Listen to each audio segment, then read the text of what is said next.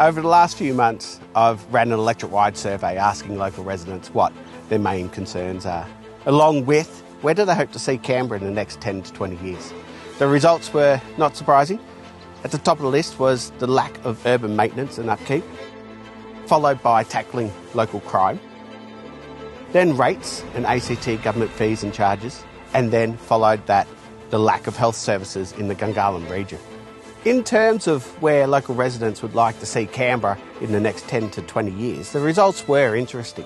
Most said they want to see Canberra as a thriving capital city, they want to see Canberra as a clean and tidy city, and they want to see Canberra as having a diverse economy, and finally, a safe place for children to grow up.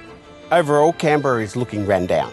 The public areas are unkept, rates are high, it's becoming unaffordable to live in Canberra. Considering the high rates we pay, there's no greater services being delivered for local residents from this government.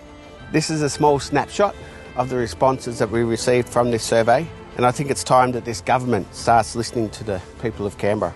And finally, I would like to thank everyone who took the time to complete this important survey. It certainly gives me a greater understanding and enables me to better represent our community. Thanks for watching.